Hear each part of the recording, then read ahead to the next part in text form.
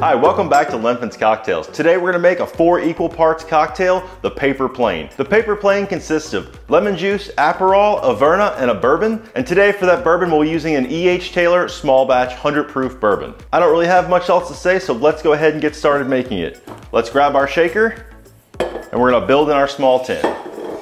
First, we're gonna do three quarters of an ounce of our fresh squeezed lemon. After that, we're gonna add three quarters of an ounce of our Aperol, and then three quarters of an ounce of Averna. Finally, we're gonna finish up with three quarters of an ounce of our bourbon. Now that we've got all our ingredients in, let's go ahead and give this a good shake for about 10 to 15 seconds.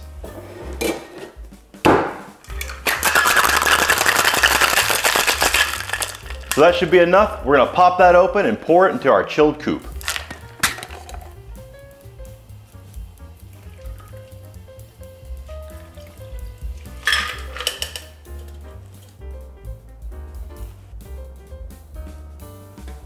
Now that we've got that poured, let's go ahead and give it a try.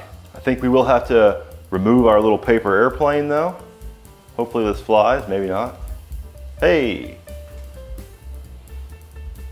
Right off the top, you do get a lot of that bright Aperol taste with the lemon backing it up.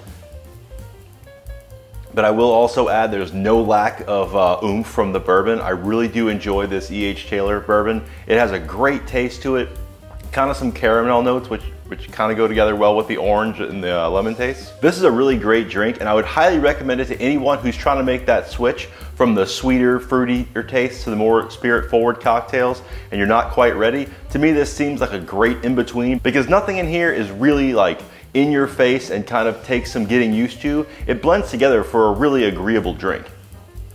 Try the cocktail, let me know what you think, leave me a message in the comments. If you like this video, please like and subscribe. Cheers.